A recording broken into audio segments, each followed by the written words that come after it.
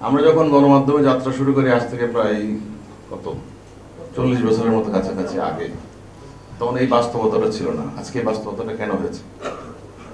মাও একটি কথা বলে- বলেছিলেন যে শত ফুল ফুটতে দাও। Let blossom all the flowers আমাদের মাননীয় প্রধানমন্ত্রী বলেছেন মিডিয়াকে বিকাশ করতে দাও। যত বেশি মিডিয়া দাও দিতে দিতে এখন চল্লিশটা টেলিভিশন। হাজার খানিক বোধহয় অনলাইন হুম। তার মধ্যে নিবন্ধিত কয়টা আছে জানি না। মাননীয় মন্ত্রী আমাকে প্রায় বলেন, প্রেস ক্লাবে নিবন্ধিত না এরকমগুলো ঢুকতে দিয়ে না। এটা একটা কঠিন কাজ। যাই হোক, তারপরও আজকে এই বিকাশের জায়গাটি একটি নতুন গণমাধ্যম আসছে, সেটা সুসংবাদ। কিন্তু মিডিয়ার জন্য আলটিমেটলি কিন্তু সুসংবাদ না। কেন বলি আপনাকে যে আমি যেহেতু, আমি একটু মিডিয়া নিয়ে কথা বলব, গণমাধ্যম হিসেবে। যে মিডিয়া একটা ক্রমাগত বিবর্তমান একটা বিষয়।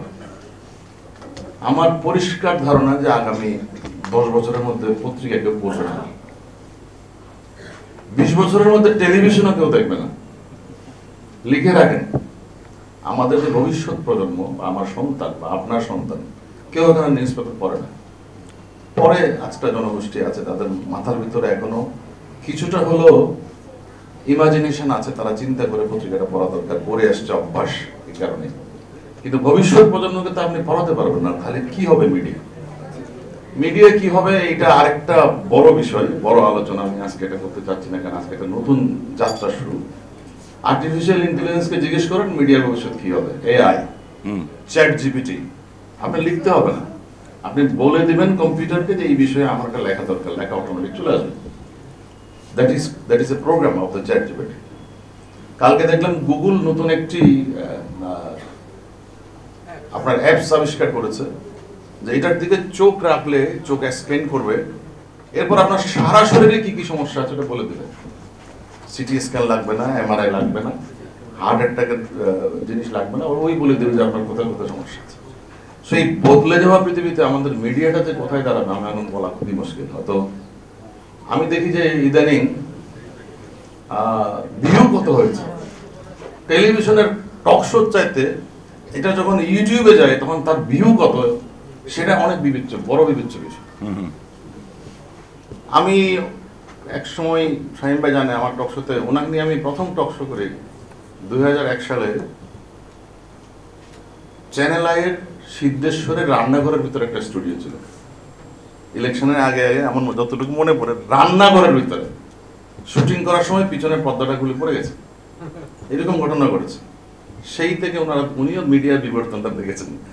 ওনার ইন্টারভিউ করি এবং আরও অনেকের, আমি একটা দু হাজার একের ইলেকশনের আগে একটা সিরিজ চালু করেছিলাম ইলেকশন সিরিজ ভোটের লড়াই রান্না এটা প্রথম দিকে বাংলাদেশের প্রথম বেসরকারি টেলিভিশনের টক শো কারণ ওনারা যখন ক্ষমতা ছেড়ে দেয় দু হাজার একের তেরোই জুন, তার দুই দিন আগে দুটো চ্যানেলকে পারমিশন দিয়ে গেছে।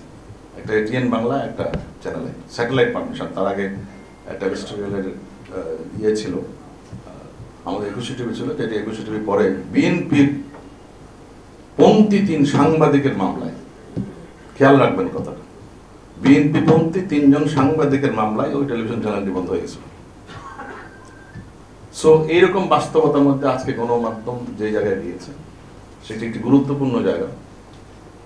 দুর্ভাগ্যের বিষয় যে আমরা আসলে গণমাধ্যমকে একটা বেসিক জায়গায় এখনও পর্যন্ত আনতে পারিনি। সেটা হচ্ছে আপনার নিরপেক্ষতার প্রশ্ন।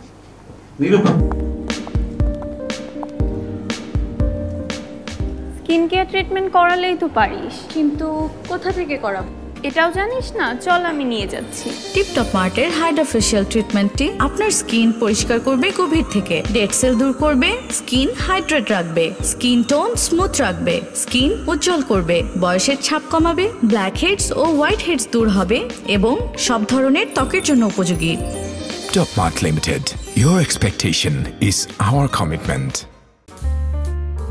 Smart Bangladesh গড়ার লক্ষ্যে স্মার্ট পদ্ধতিতে নির্বাচনের প্রচার না করে আপনি পিছিয়ে পড়ছেন না তো আপনি যদি একজন জনপ্রতিনিধি হয়ে থাকেন, তবে আপনার উন্নয়ন কার্যক্রম সোশ্যাল মিডিয়ায় প্রচার করে আপনি পৌঁছে যাবেন আপনার এলাকাবাসীর একদম কাছে আপনার উন্নয়নের সকল কার্যক্রমের ডকুমেন্টারি ভিডিও রিলস গ্রাফিক্স তৈরির মাধ্যমে আপনার গ্রহণযোগ্যতা বাড়াতে ওয়েব কিংডম সহায়ক ভূমিকা পালন করবে। ইতিমধ্যে ওয়েব কিংডম জনপ্রিয় ও প্রভাবশালী জনপ্রতিনিধিদের উন্নয়ন কার্যক্রমে ভূমিকা রেখেছে।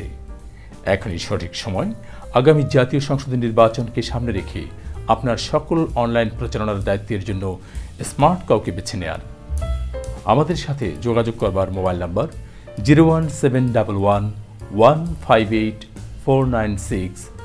এবং zero one nine one three zero eight nine zero four five